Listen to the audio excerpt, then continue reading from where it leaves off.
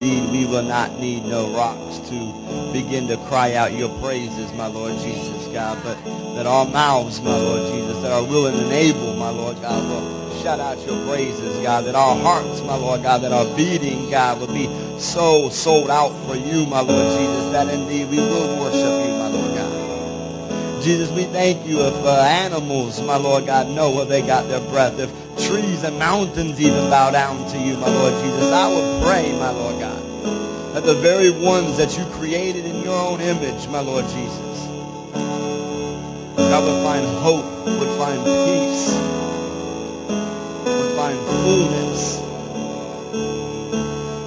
simply worshiping at your feet, my King. God, that we would desire, my Lord Jesus, not to come into your presence for a little bit, God, but to stay in your presence, my Lord God. That worship wouldn't be something that we do when we're at church, God, but worship would simply be something that we live, my King. And Lord, we just get back into that hook again, my Lord God, let us to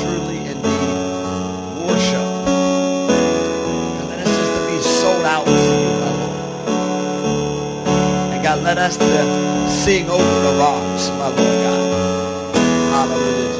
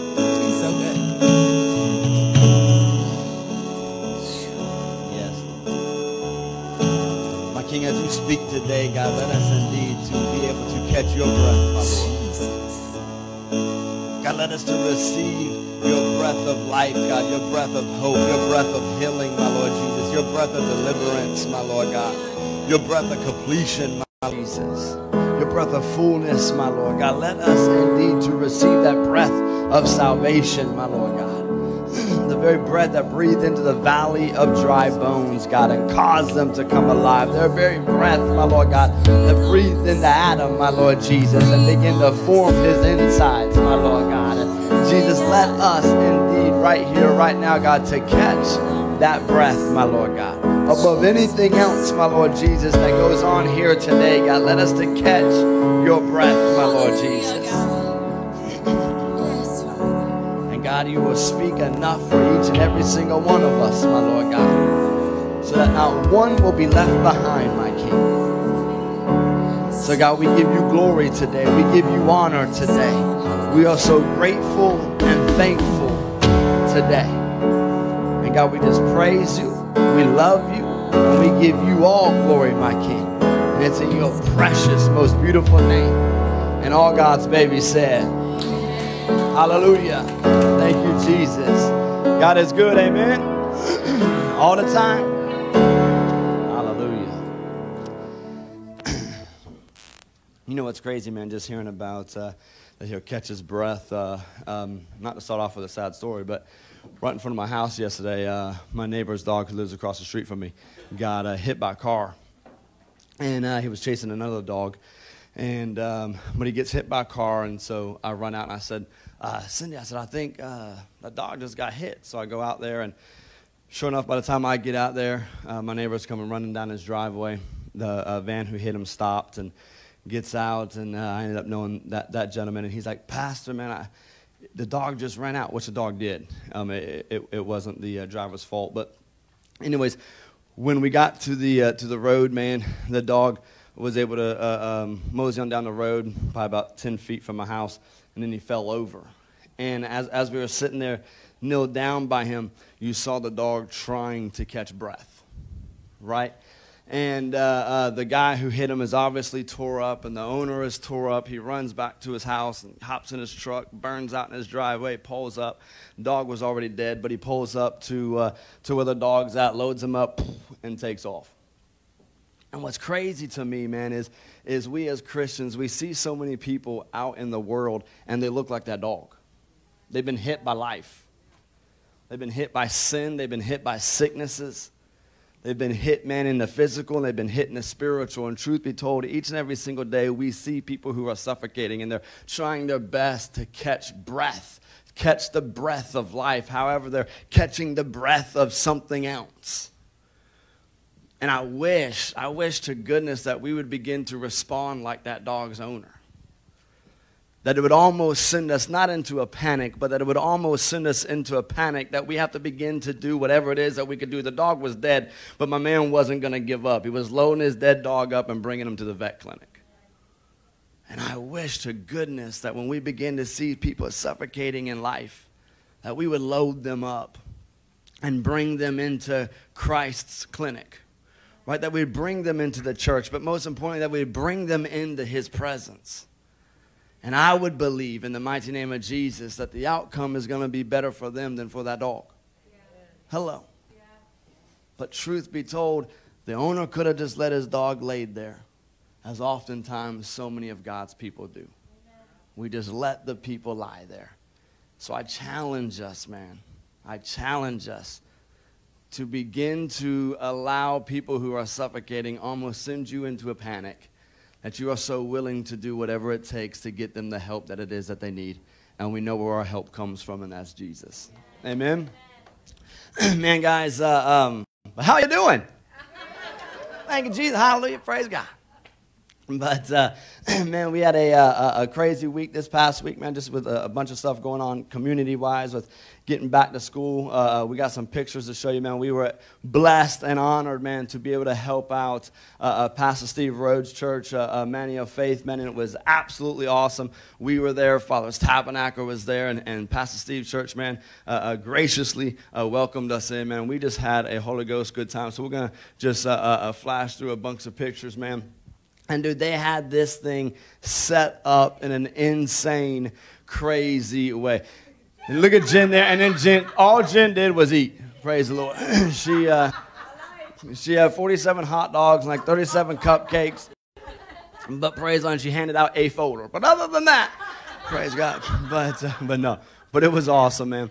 But, uh, but it was just an awesome time. And, and to see the, uh, the group, uh, uh, uh hey, that's too mighty, man. Thank you, Jesus. Pastor Stephen, Pastor Dwayne. But uh, I don't know why they have that picture like.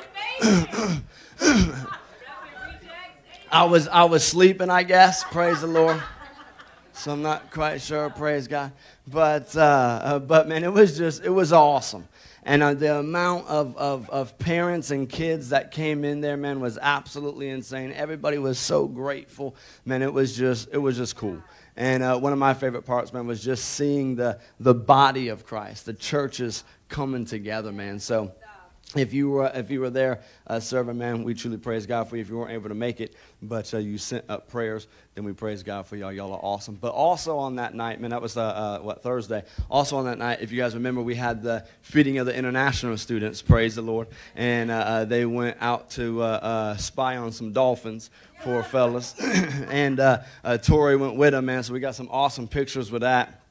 And praise God. Look at Tori. Look at Mama T. See you. Hallelujah. Thank you, Jesus. Thank you, Lord. Check this out. I want to point out this one picture. Isn't that awesome? Praise the Lord. Thank you, Jesus. That's a dope picture right there. But I think there might be one. Is there one more? Or is that it? Hey. That's awesome. I thought I had one up there of, of some like some dude just like it was a solo shot. He was sitting on a bench. I might not I might not have pulled that one up there. But this dude's legs, I wanted to show the picture because his legs were like mutantly long. it made absolutely no sense to me. Like his legs were longer than I am tall. I know some of y'all, his legs don't have to be that long. Get out. Praise the Lord. But, oh, they, look at that. That's not normal. Seriously. And they grow him like that in Turkey. I knew he was from Turkey. That is awesome. Well, no, not that one. Look how big that one calf is. Right? That dude is amazing to me. Right? Like literally, if he was standing up, I could just walk right under him. That's so awesome. Yeah, I have leg envy. What? What? Praise the Lord. But it is, even he's like, wow, dude. This is crazy. Praise God. But that's just awesome. And I know uh, uh, Mama T, man, was telling me that she just had an amazing, blessed time. She was talking about how, how just those students, man, uh, were seeking her out, wanting to take pictures, although we think we were photo, she was photobombing a lot of them. But she says that they were seeking her out, praise the Lord. So we're going to go with it. Hallelujah. Thank you, Jesus. But no, but the, rela- the relationship that she formed with them over this uh, last few months, man, has been absolutely phenomenal. And uh, it's a it's a bond, man. That uh, when they come back next year, uh, uh, God willing, it will be able to kick right back up. Amen. So it's awesome. And remember, guys, man, we have uh, uh, this Saturday, man, back to school bash, which is going to be awesome. Hallelujah.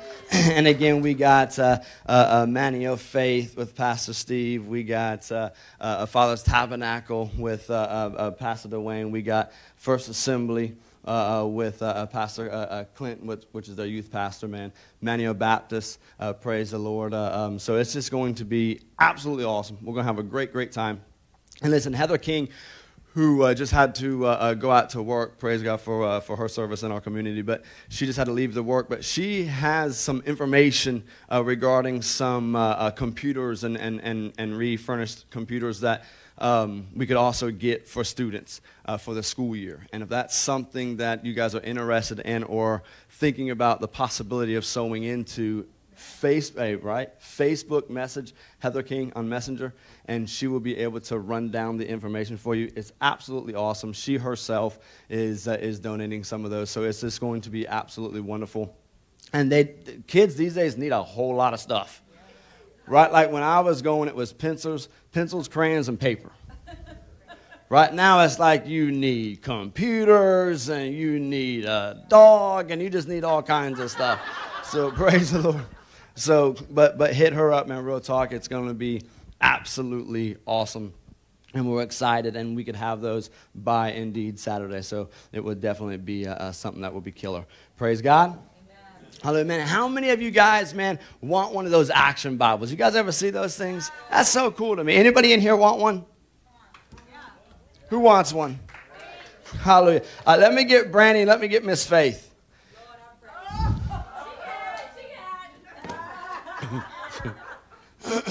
Hallelujah. uh, we're going to do some Bible trivia. So we're going to get. so that's why. That, that's why I didn't ask. That's why I didn't. yes. All right, so. So I'm going to ask you guys three questions. Okay. All right. What what does right? Look at that beautiful face. Yeah, she's so hot. Praise the Lord.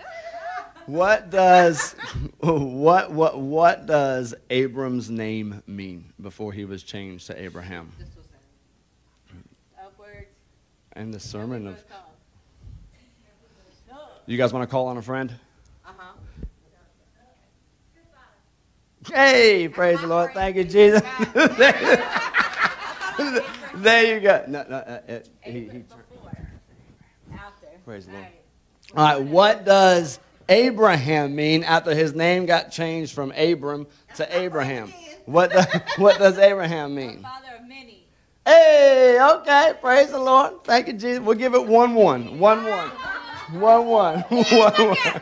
Hallelujah. What does Jacob's name get turned to? My friend again. Hold on, hold on, hold on. Do, Do you know it? I'm at upward. Do you know it? Hey! Praise the Lord. Thank you, Jesus. Come here, Jay.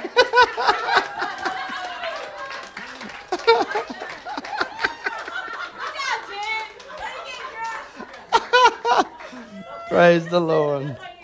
right.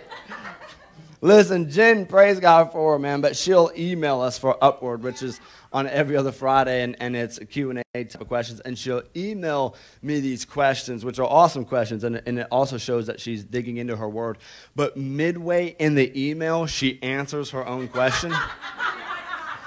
And then she just keeps on going. You know what I'm saying? I'm like, shucks, I'm going to use that in my sermon. Praise the Lord. Is that what that answer is? Praise the Lord. Thank you, Jesus. But man, we are in our third week of our sermon series, man, to God be the glory, called Old Skool. And it's been awesome, man. Last week was absolutely phenomenal. If you were not here, I am sorry for you because we just had spontaneous worship and it was just absolutely insane. We've already got reports of people's breakthroughs, already got reports of people's healings, and it's just been absolutely wonderful. So we are super stoked about that, man. And uh, we have just been, been riding that wave, man, for this past week, and it's just been wonderful. Week one, we talked about uh, Abram, how indeed he did get transformed or turned to Abraham. And today, as we just learned, man, we're going to talk about Jacob and how he turns to Israel, if you would. And if you guys don't mind, turn with me, which I believe is one of the most uh, popular passages of Scripture whenever somebody's dealing with Jacob. And it's out of Genesis chapter 32, and it says this. And he arose that night and he took his two wives. Somebody say, Mercy. His two female servants and his 11 sons. Can we already pray for him? Thank you, Jesus. And crossed over the uh, ford of Jabbok. And he took them and he sent them over the brook and he sent them uh, uh, uh over what he had. And then Jacob was left alone. And a man, capital M, praise the Lord, a man wrestled with him until the breaking of day. And when he saw that he did not prevail against him, he touched the socket of his hip. The man is touching the socket of, uh, of Jacob's hip. And the socket of Jacob's hip was out of joint as he wrestled with him. And he said, Let me go, for the day breaks. But he, Jacob, said, I will not let you go unless you bless me. So he, the man, said, What is your name? He said, Jacob. And he said, Your name shall no longer be called Jacob, but Israel. For you have struggled with God and with men and have prevailed. Then Jacob asked, Tell me, what is your name, I pray? And he says, No, my name is not I pray. No, he didn't say that. And he said, Why is it that you ask me my name? And he blessed him there. So Jacob called the, uh, the name of the place Peniel. For I have called God face to face, and my life is preserved. Just as he crossed over Penuel, the place, the sun rose on him, and he limped to uh, and he limped on his hip. Therefore, to this day, the children of Israel do not eat the muscle that shrank, which is on, which is on his hip, uh, his hip socket, because he touched the socket, Jacob's hip, in the muscle that shrank. Now, this is awesome to me because here he is, man, he's wrestling with God, right? Ultimately, that's what he's wrestling with. And, and my favorite thing to do with my boys is to wrestle. Right? I absolutely love wrestling. I will walk in the house at the end of our church days, man, uh, during the week, and I'll walk in, and instantly one of them, either Elias or Grayson, will begin to yell out, Let's fight. And the moment they yell out, Let's fight, man, it's on. Because I ain't never back down from a fight. I ain't about to from a two year old or a four year old. So so then it's on, right? And and and or the other thing is, is I'll be walking by just at the house, you know, minding my own business, and Elias will come by and sucker punch me in the gut, or or Grayson tries to, but he's shorter, so it doesn't. It's not really a sucker punch in the gut, so it's like hello or hello, and and and and then the fight is on, right? So this stuff happens all the time, but I absolutely love wrestling. I, I love it, man. I, I don't like watching it anymore because it's, it's, it's absolutely horrible. But I love wrestling with my boys, right? I was into wrestling. I was into wrestling, man, when I was a kid. You know what I'm saying? I, I love WWF and, and WWE and, and Ultimate Warrior and Hulk Hogan. Macho Man Randy Savage, slap into a Slim Jim, right? I just love that stuff, right? And it was just absolutely amazing. And, and, and right, B-boy, man, that's, you see, I relived my wrestling childhood fantasies through B-boy. you know what I'm saying? So, but it's just absolutely awesome, right? He's got his belt. I didn't even ask him to bring it.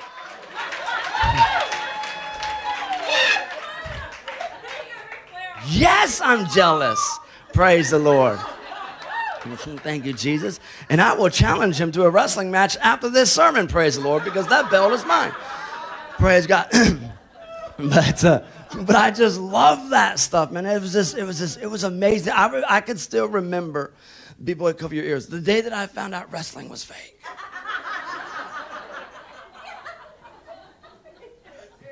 right. yes, it is, B-boy. But but I, I remember, man, I was just about as devastated as when I found out that Santa wasn't. Right? Right, B boy, you with me? But man, when I, when I found out those two things were fake in my life, I was like, are those even my parents? This whole life has been but a lie. You know what I'm saying? And it was just absolutely horrible. But I love it. I love it with my boys, man. And my favorite thing about wrestling with my boys is that they actually think that they're doing something. Right? And it's so funny. And, and, and they'll constantly ask me, Daddy, are, are you okay? Are you okay, Daddy? Did that hurt? Daddy? Are we hurting you? And you know, so I'm like, guys, man, you guys are amazing and praise God. But you don't have to keep asking me if I'm okay. I'm good. You're not hurting me. And Elias is like, uh, we're not asking to see if you're okay. We're trying to hurt you. I'm like, oh, shucks. You know what I'm saying?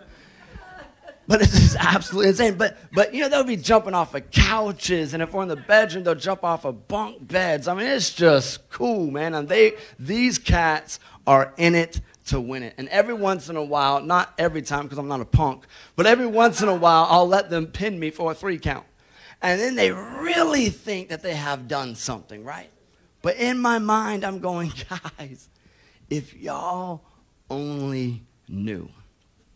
Here's this man named Jacob, and he's wrestling ultimately with God. And God, if you would, is allowing him to pin him for a three count. And the whole time, Jacob, you ain't gonna let you go until you bless me. And God is thinking to himself, Jacob, if you only knew. And see, with me, when I get into a wrestling match with one of my sons, and or oftentimes both of my sons, I know how we got there.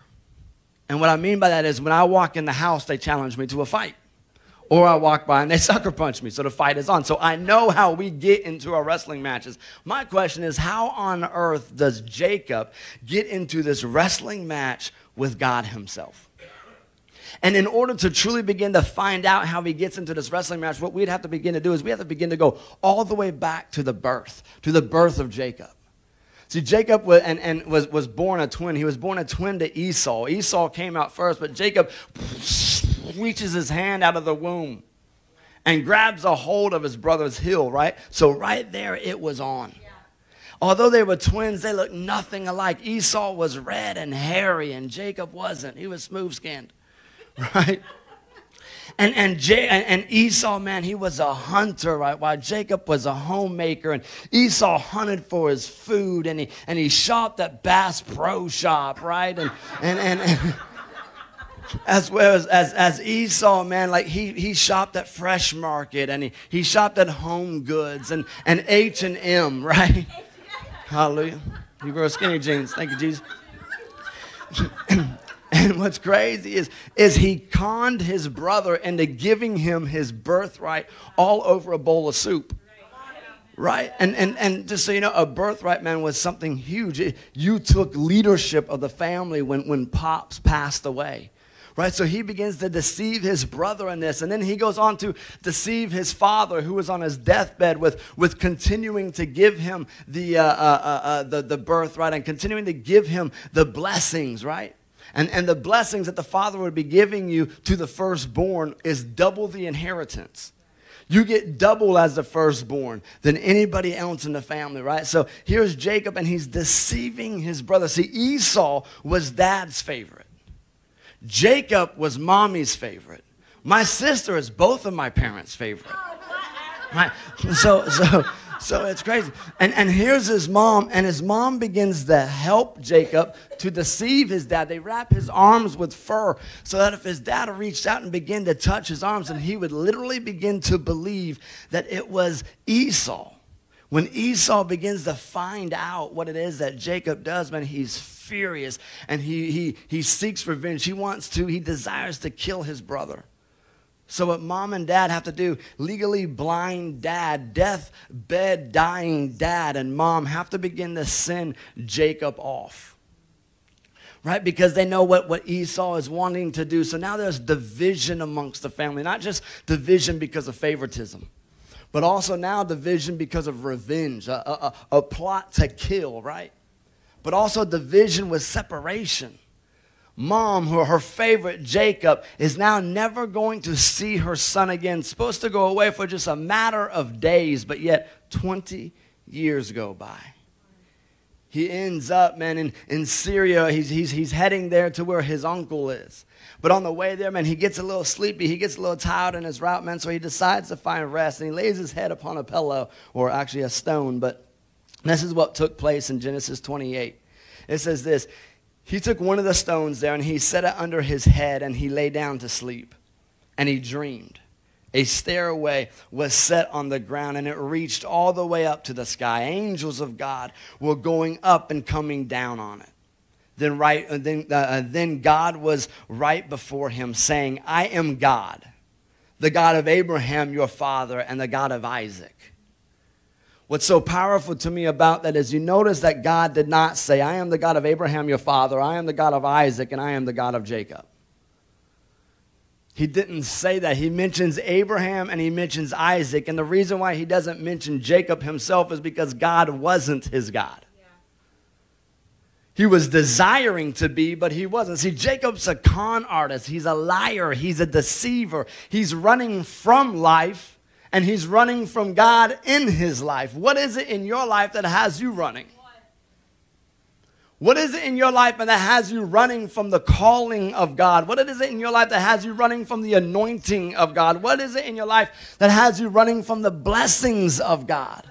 What is it that has you running day in and day out? This is where Jacob said, and God's desiring to get his attention.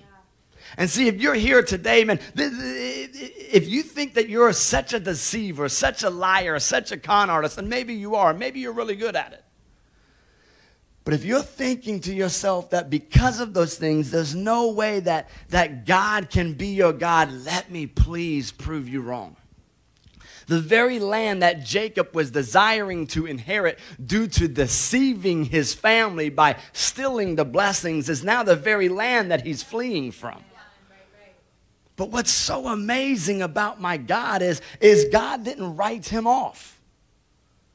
God didn't just, just do away with this is why God is my God because my God did not write me off.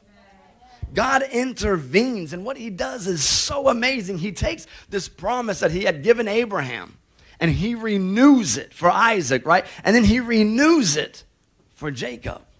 This deceiver, this this liar. And ultimately, what God is telling him is He's saying, Look, I'm the God of Abraham, I'm the God of Isaac, but you know what, Jacob? I want to be your God too. See, I pick you. Will you pick me? He goes on and it says, I'm giving the ground on which you are sleeping to you and your descendants.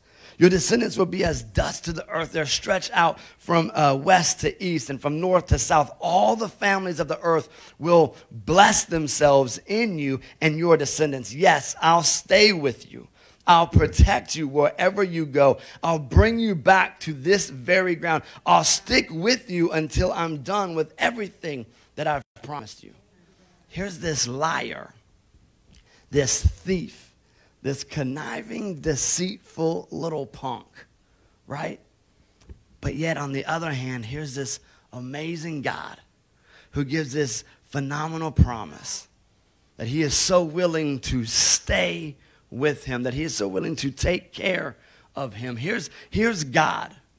And God is telling him that he plans on bringing him back to where he desired him to be in the first place. God promised to do to Jacob what Jacob could not do to himself to bless him, to protect him, to bring him on back home. And I'm here to tell you, I promise you that God promises you to do things for you that you cannot do for yourself. See, some of you, you can't love yourself, hallelujah, but God promises to love you. You can't heal yourself, but God promises to heal you. He says, by his stripes, you can't deliver yourself, but my God says, I will deliver you. You can't protect yourself. If you could, we wouldn't have needed Jesus. Hello, but you can't protect yourself from sin.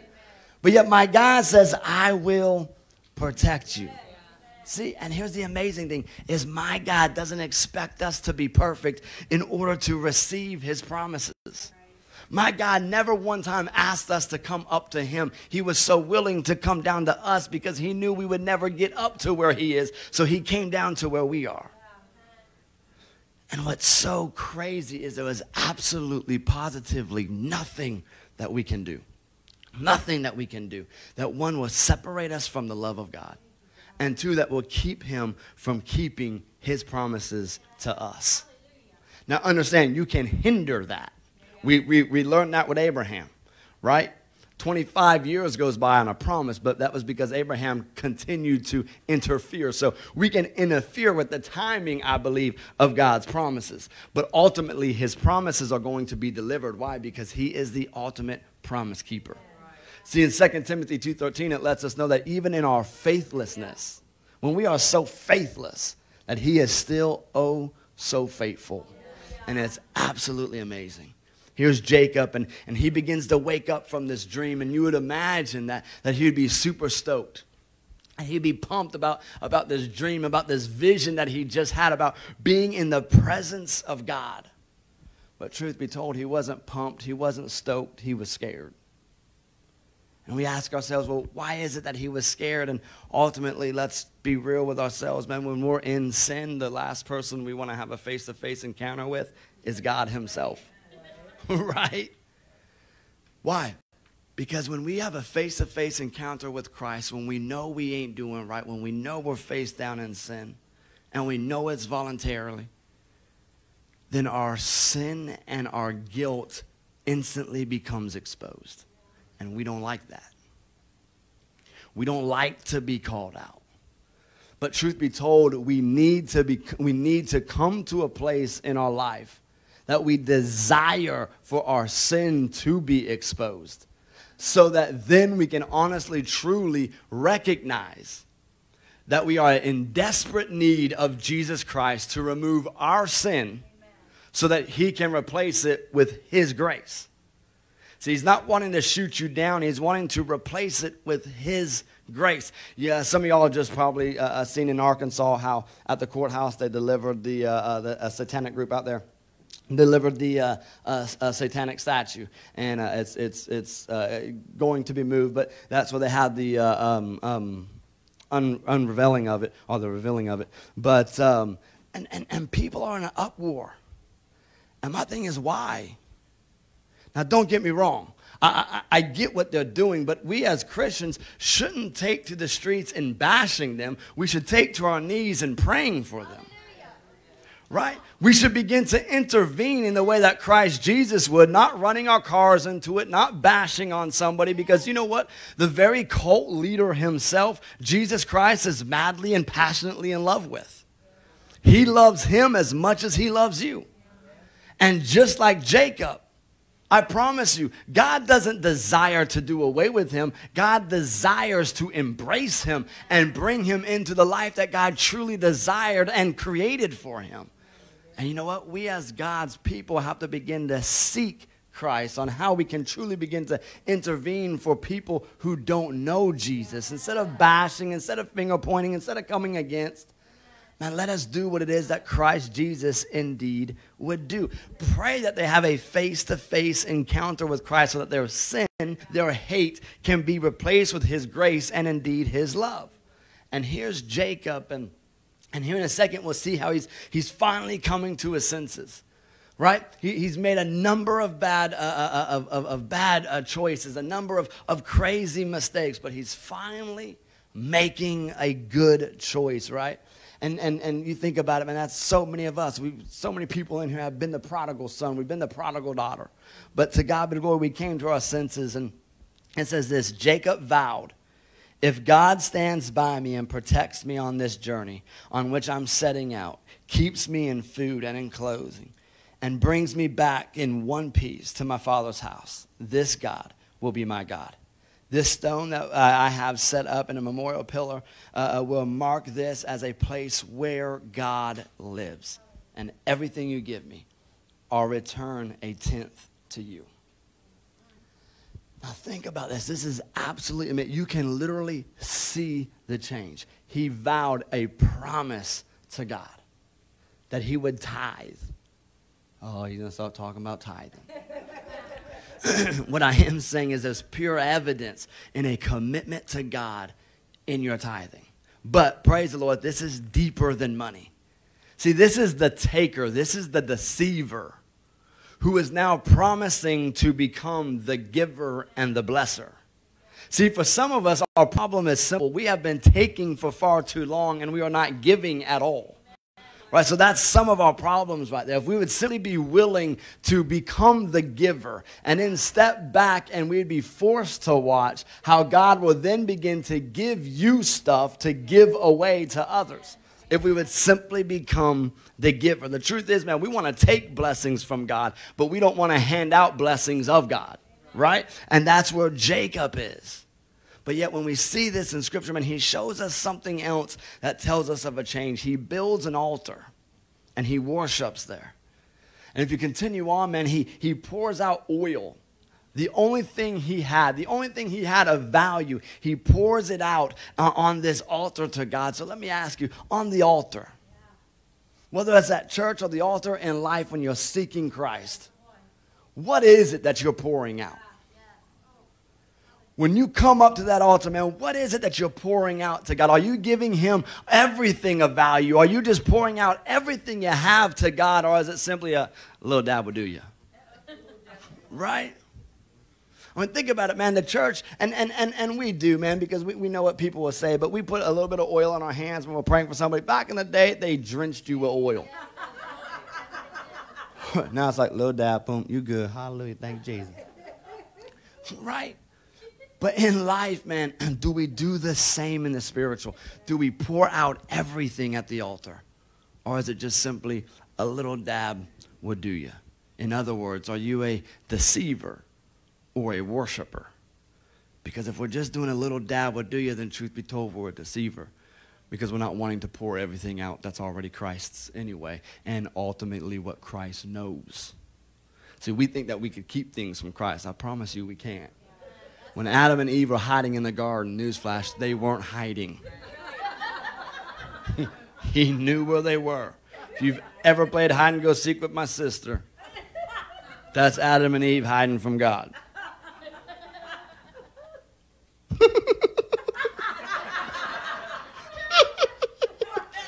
You're like, wow, wonder where my sister is. But it's crazy. So, are we a deceiver indeed, or are we a worshiper? And what's awesome, man, this altar is significant because he names it Bethel, which, is, which means the house of God. But what's so cool is this wasn't a house, this wasn't a building. Truth be told, it was the side of a mountain. But it was the side of the mountain that he met God himself. Where is it that you met God? Do you know that that statistically proven Now, I know that you could have your way with statistics, but statistically proven, man, that more people meet Christ in the house of God than anywhere else. More than at revival services and tents or, or more than street ministry, which we love, but, but above all of that, all that stuff, more than mission trips and so on and so forth, more people come to Christ around the world in the house of God than anywhere else. Where did you meet God? How indeed did you meet God? And what have you done since you've met him? Ed Hindson is an amazing man of God, and he says this quote, and I love it. He says that our relationship to God runs parallel with our, our I'm sorry, our relationship to the house of God runs parallel to our relationship with God. And I agree. Some people won't, but then it shows you what your relationship is with the house of God. But he says this when we are in a tight relationship with God, we enjoy the house of God. I'll go on to say, when we're in a tight relationship with God, we enjoy serving the house of God. We enjoy being at the house of God. We enjoy uh, giving to the house of God. When we are not in a tight relationship with God, we don't want to be in the house of God. We don't want to serve at the house of God. We don't want to give into the house of God. See, nine times out of ten, you can tell somebody's relationship with Christ by their relationship with the church. Well, hold on, Pastor. You don't have to go to church to be a Christian. No doubt. You also don't need a parachute to jump out of an airplane, but I promise you it's going to work a whole lot better for you. Hello. Nine times out of ten, man, when somebody begins to tell you that they've done away with church, aka what they're saying is they've stepped away from God. Because if they hadn't, then they would actually begin to listen to God and the importance that He talks about the church kills me when people say, God told me to leave the church, Pastor. Okay, well, where are you going? Well, right now, the uh, uh, church in my living room. Okay, well, uh, newsflash, that's not the Lord because that goes against His word. So we can begin to tell where people stand with God, with a need, where they stand with the church. See, God's house should be one of, I'm not saying the, but God's house should be one of the most important places to us. And we're going to get to this wrestling match, I promise. But, but something else begins to happen, right? You know that old saying, man, what, what, what comes around goes around? Elias, not too long ago, deceived his brother like crazy. He, he takes a sip drink and a, a cup and he drinks all the stuff out of the cup. He sneaks into his bedroom and he pees into the sip cup. That's what I said. And then he told his brother that it was chocolate milk. If you know Grayson, Grayson's favorite drink is chocolate milk. So he grabs this pee cup and he begins to take a drink, spits it out, and then begins to say, Ah, Elias pee. Right? So, needless to say, Elias got into some serious trouble. So late, later on that night, I'm sitting in a chair, and Elias is sitting next to me, and, and, and we were again talking about what took place. And he says, uh, I tell him that it was bedtime, and he says, Daddy, um, I'm thirsty. I said, You are? And he said, Yeah. I said, Well, how would you like me to take a sip cup, pee in it, and make you drink it? Dad, that, that's, that's disgusting. That, that wouldn't be nice at all. I said, Exactly. And that's what you did to your brother. I said, So don't ever do that again. I said, Because see, here's the thing your brother's not going to forget that. I said, and what comes around goes around. So, how about just the other day? Elias is in the bathroom. He just got done in the shower and he's in the bathroom. Grayson comes running in there and stands behind him, and you could just see the smirk on Grayson's face. Grayson's learning how to aim. So, what he does from the back of his neck all the way down, he pees on his brother. and Elias Elias is slammed, tore up. I'm like, did you taste it? No, then it won't that bad, was it? Hallelujah. right? So what comes around goes around. And now, and now here's Jacob. Here's Jacob, and, and, and he meets this, he meets this girl in, in, in this journey. He meets this girl, Rachel, and he falls in love with her, right?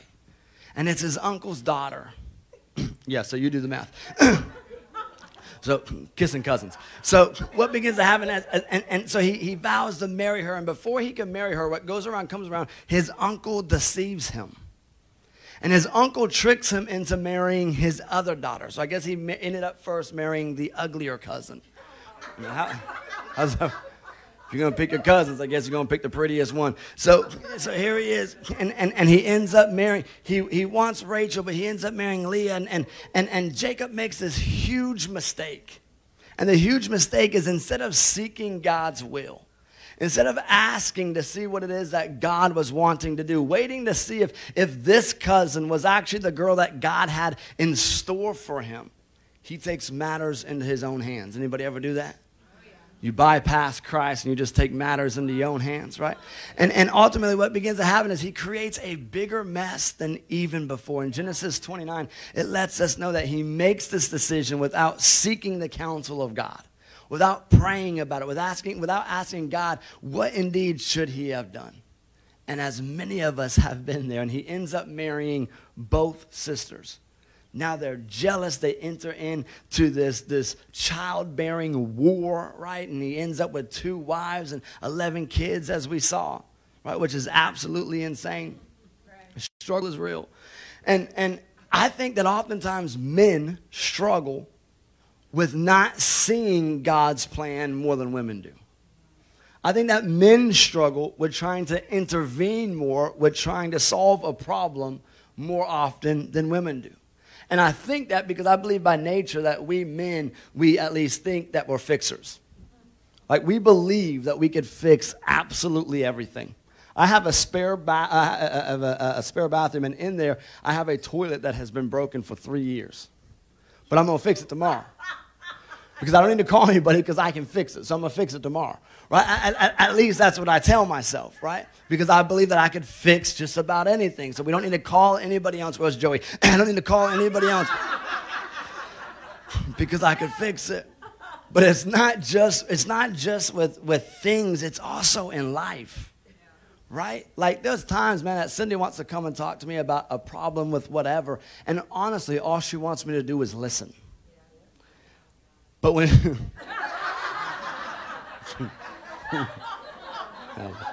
Thank you. Thank you. Thank you, Jesus. But, but before she could even finish, in my mind, I've already solved it. It's already fixed. Will you just let me finish? Baby, you don't have to. I fixed it. I have the answer if you would just listen. Man, we believe, man, we believe that if people would just listen to us, we can literally solve everything. The, the biggest problem, however, is oftentimes we can't see God's plan in life. And it's impossible to fix things that you cannot see. And I know this firsthand. See, I'm not a handyman, I'm a lover man. Right? I'm a lover lover. Mm. Right? So,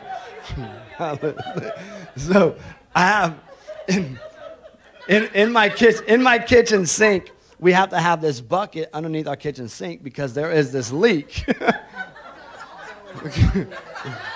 Where's Joey? but, so, so I was like, babe, I can fix it.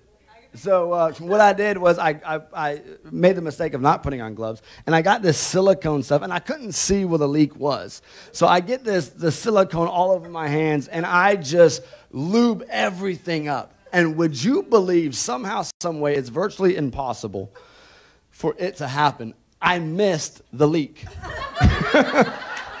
like Literally everything else is gunked up to high heaven except somewhere on that pipe where the actual leak is. And the problem is, is I can't see where the leak is, so therefore I can't fix it. So we just have to empty this bucket just about every other day.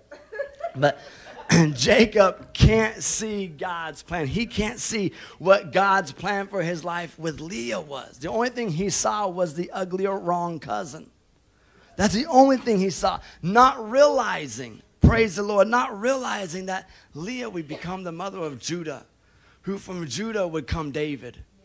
And from the line of David would become Jesus Christ, the ultimate fulfilled promise of God Himself See, we can't see God's promises. We can't see God's plan all the time, and we try to intervene. And when we do, we mess everything up. And here's Jacob not waiting for God to reveal his plan to him, but yet he intervenes, and now his family once again is divided.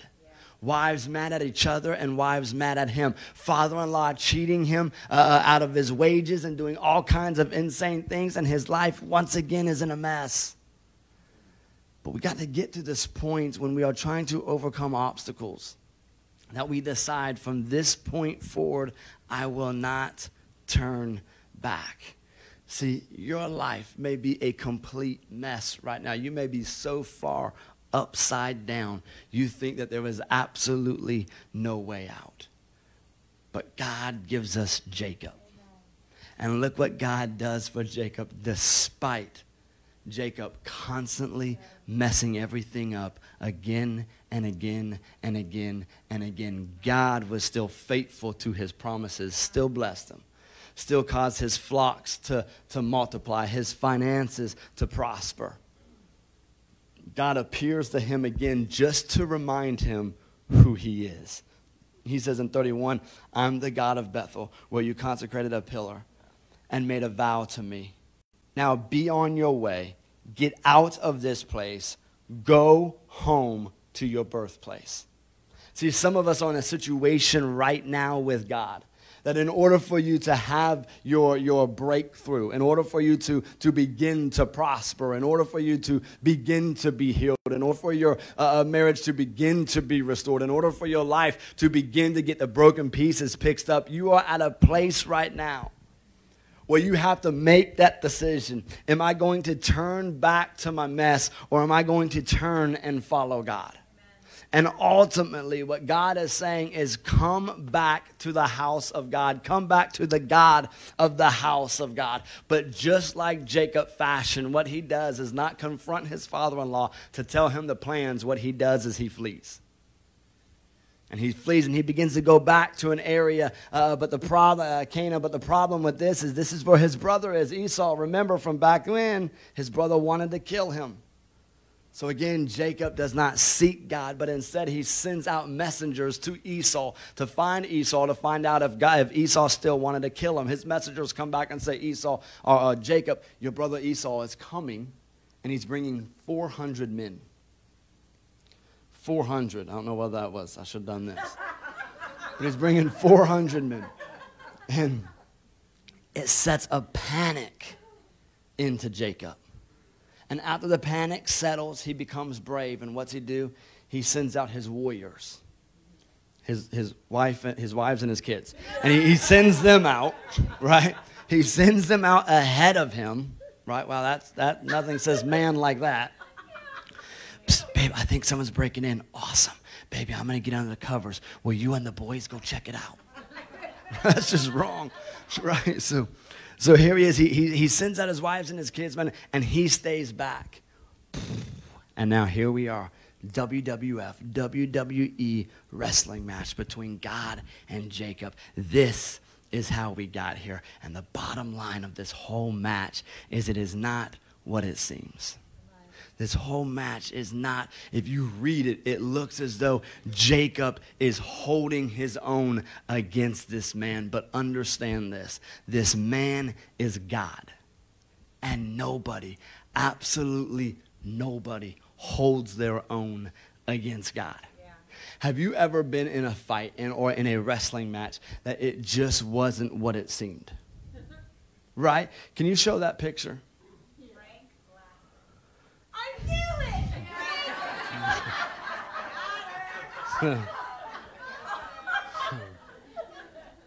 this was at a Christmas party. And, and, and, and, and she was, I'm sure, talking smack and probably getting more presents because she's the favorite, and I had enough of it. But, um, but what's crazy is as, as I'm, I'm, I'm just getting ready just to destroy, finish her, right? And I'm getting ready just to take her out. She begins biting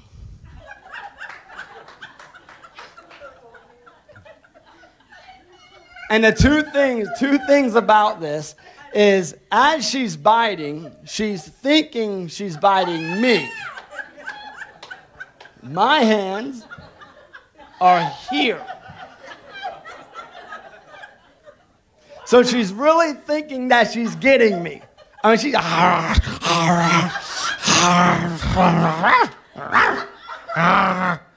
right?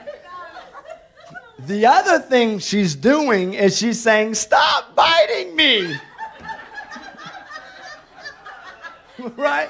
So people at the party are weak because one, she thinks she's biting me, but also in her mind, I'm biting her hand.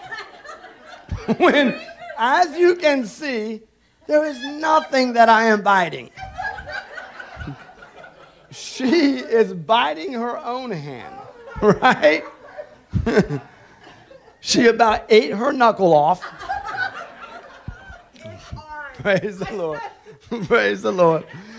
But in her mind, man, she is she is just she's taking it to me in in, in this vicious dog attack. Right? But it's not what it seems. When you read this, Jacob is taking it to God. right? He's taking it to God.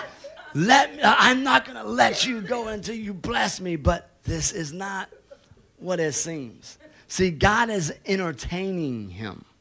Because, truth be told, what Jacob is doing at this very moment is once again manipulating. And now he's trying to manipulate God himself. And he does this by this manipulation to God by saying, God, uh, uh, uh, I won't let go until you. Manipulation. Anybody in here ever manipulate God? God, if you do this, then I'll do that. Manipulation. See, chances are every single person in here has tried to manipulate God. This man, God, says, Let me go. As if Jacob had God pinned. But I could prove, truth be told, that that's not the case. I won't let you go until you bless me. Craziest thing is, is neither one of us have to ever, ever wrestle with God to receive the promises that He has already promised to give us. All we simply have to do is begin to receive them. If this was truly a match, God wouldn't have touched his socket and popped his hip out of, out of joint. He would have ripped his arm or his leg off and beat him to death with it. Right? I mean, truth be told, if this was a real wrestling match, what this was was an amazing daddy who was entertaining his kid. That's all it was. It's like me wrestling my sister. It's like me wrestling my boys, right? They can't do what it is unless I allow them to do it. They can't pin me down. I lay myself down. I don't have to bite because she's going to bite her own hand off. right? And Jacob, truth be told, man, is no match for God. And when we say things like, you know, people say things all the time like, sometimes you just got to wrestle God and you got to demand your blessings. Right? You can just debunk that with two words you're stupid. Right? Because, no, you're stupid. but, but think about that, man. You cannot wrestle God. Nobody has ever wrestled God. Real talk. Even when we say things like, man, I wrestled God all night last night. No, I promise you, you didn't. No, Pastor, for real, I didn't. No, you didn't. Well, how do you know? Because you're standing in front of me. You're not dead, hence, number one, you didn't wrestle God. You're not walking with a limp, hence, number two, you're not wrestling God. For a lot of us, we don't even have self control to stay out of sin. We're not going to have self control to stay in a wrestling match. Right? So, no, we don't wrestle God. We have an amazing daddy who will sometimes entertain you. Why? Because there's something greater. This would be like me wrestling Pastor Rob. Right? And just taking it to Pastor Rob, right? And just, ah, no, man. It's not going to I promise you, I'm not going to pin him. right? I'm not going to take him out. Now, he might entertain me. Ah, oh, ah, Pastor. Oh, my, oh, man. Oh, mercy. Okay. Ooh, ooh, ooh, you got, you got, you got me, soldier. You got me, Pastor. Okay. Let me go. I'm not going to let you go until you give me what I need. I want Shaddai. You know what I'm saying? okay, okay. You, you, you, you, you, you, your wish is my command. You know what I'm saying? No, that's not going to happen. That's not going to happen. Right? It's absolutely ridiculous. If y'all walked in and I was like, man, y'all just missed it.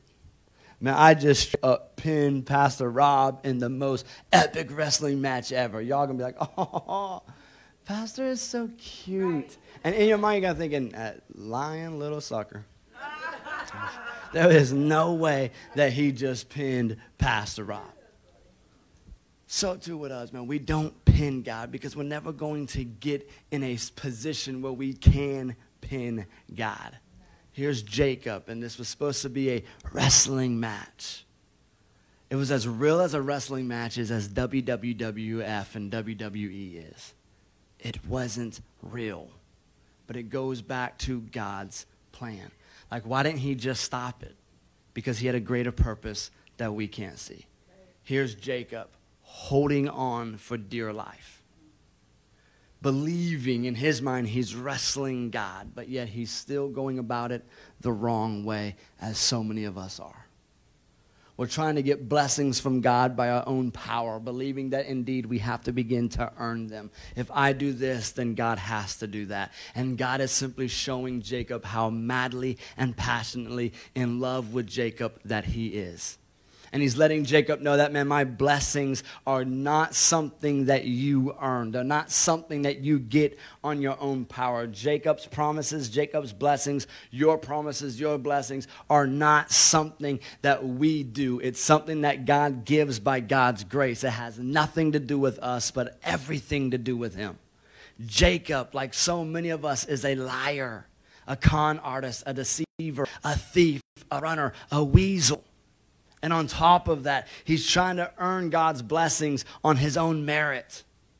Most of us wrestle not with God, but with the things that we do for God.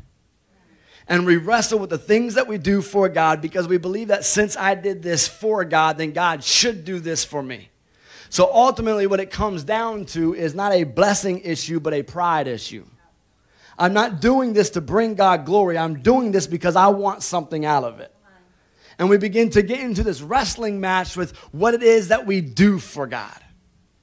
So ultimately, it's not even God we wrestle with, it's our pride that we're wrestling with.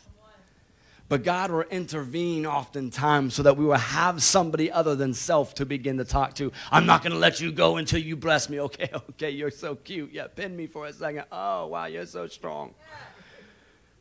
When ultimately all God's doing is saying, I'm getting ready to destroy you mentally to begin to rebuild you. Because I can't do anything with your mindset when your mind is set on Jacob, you con artist, deceiving, conniving little punk. But when I begin to break you down and show you that that's not who you are, to get out of your own way, but to show you that you are Israel, God's chosen nation. When you are Israel, the promised of God, when you are Israel, man, then you will begin to grab a hold of who you truly are. And that's the only reason why I begin to entertain you in this wrestling match. See, when I wrestle with my boys, man, it's amazing bonding time, but I also get to teach them things.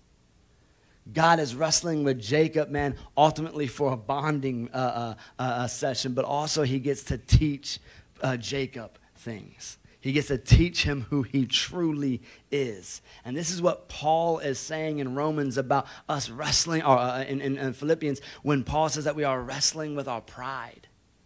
This is a fake wrestling match because it feels so good to, to believe we earned it. Nothing's given to me. I, I, I earned this. We live in a society, man, where, where one, we think things should be given to us, and then the other half of the people, man, believe that they have to do everything to get something.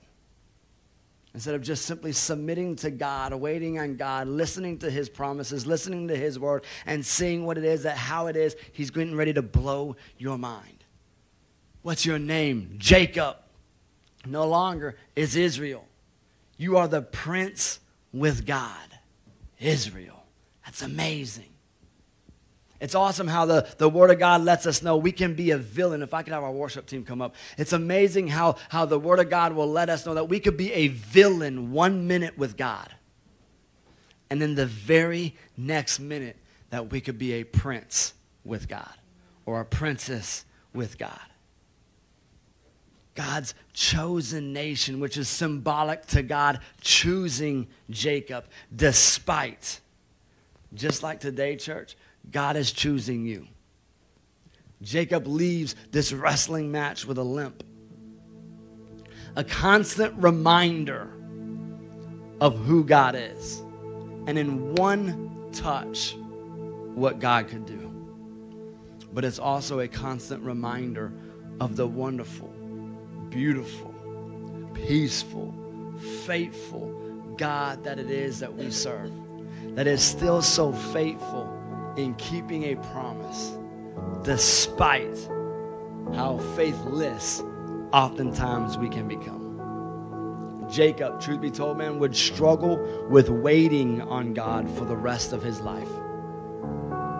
But God never struggled with delivering a promise to Jacob. And he was true to his promise when he named him Israel. He did indeed make him into a mighty nation. God begins to restore Jacob's family. God changed the heart of his father in law for his father in law to stop to pursue him. God changed the heart of Esau that Esau no longer wanted to kill his brother. But when he saw his brother, he wept, embraced, and kissed him. And then said, Look, I know right now you have nowhere to live, so why don't you and your family, your two wives and 147 kids, come and move in with me? But Jacob, reverting back from Israel mentality to now Jacob mentality, begins to believe that his brother is still wanting to kill him. So he sends his brother on ahead. He says that we'll catch up later. And indeed, that later doesn't come. What he ends up doing is he goes the opposite direction. Gets 10 miles from Bethel, 10 miles from the house of God. That's a little bit too uncomfortable, so he turns the other way and ends up 20 miles north. And he takes problems into his own hands and ultimately settles outside the ungodly Canaanite city of Shechem. And everything goes wrong. His daughter is kidnapped and, and, and raped. His sons take revenge on every man in the city and they kill them. His life is destroyed once again and he's running for it once again. You ever been there? Like, have you ever been there, man? Like, like everything's going good, and then you make one stupid decision, and everything just begins to fall apart. And then that one stupid decision starts a domino effect, and you stop seeking God on the decisions that it is that you're making. So everything just becomes absolutely devastating. And now here he is, and he places his family in danger. And finally, out of desperation, is a beautiful place to be out of desperation, Jacob calls out to God. And what I love so much about my God, if you don't know him, I love to introduce you to him. He doesn't ignore. Well, Jacob, I was with you, but you left me, so no, I'm not going to listen to you. He calls out to God, and God appears to him once again. And God tells him to get back to Bethel. Get back to Bethel and make another altar. And he also tells him, he says, have your family put away strange gods or false idols. Have them change their clothes. And thank you, Jesus. Finally, Jacob gathers his family, makes another wise decision, demands his family to put away false gods, to put away these false idols. Change your clothes, he says. And let's begin to look, act, and live as though we are people of God Almighty. He finally became the leader that God ordained, God wanted him to be the whole time. And now here's Jacob marching his family back to Bethel. He's marching his family back to the house of God. But what's so amazing about this is when he marches his family back to the house of God, a place that he's been so close so many times, but yet never committed. This time he's finally 100% committed. And when he gets there, when he gets to Bethel and he begins to make this other altar, you know what's amazing is he names it El Bethel, which is now the God of the house of God. What I love so much about that is Jacob is wanting the readers to know. He's wanting the family to know. He's wanting everybody to know. I didn't return my family to the house of God for everything to be restored. I turned me and my family back to God. And because I turned them back to God, everything was restored. And now, since I turned my family back to God, we will be committed to the house of God. So he names it El Bethel. Jacob wanted to make it clear on who it was that radically changed his life. He wanted to make it clear it's no house, it's no building. It's the God of the house, it's the God of the building. See, God changed Jacob's life, not the church, but God. The church can't change your life today, but God can. He ends it in, in 47 9 with saying, Man, my, my years were many. Uh, uh, uh, my years may have been few and difficult. But you know what's awesome? God had a plan. He had a plan before Jacob was born. Unfortunately, Jacob oftentimes tried to intervene, as oftentimes me and you do. It brought suffering, it brought heartache, it brought pain. Instead of waiting on God, he tried to do everything himself. But what he did do, which is absolutely amazing, is in desperation, he called out to God. So I pray that today, if you are here and your life is flipped upside down, that in desperation, you will call out to God. God restored the years that, that Jacob went running from him. He restored the brokenness of, of, of what Jacob caused. God did amazing things through Jacob, who became Israel all because of God's wonderful, wonderful promises. So it's not enough just to go to church, it's not enough just to be involved in church. What you need to do is turn to the God of the church, God Almighty, Jesus Christ. And Holy Spirit is here today to lead you to Him. Father God, we thank you. God, we praise you, we love you, we give you all glory. And we just ask you, my King, that you would just have your way. I pray today, God, for the Jacobs who are in here, my Lord Jesus, that they would realize who you are, God. And that they would desire today, my Lord God, to become Israel.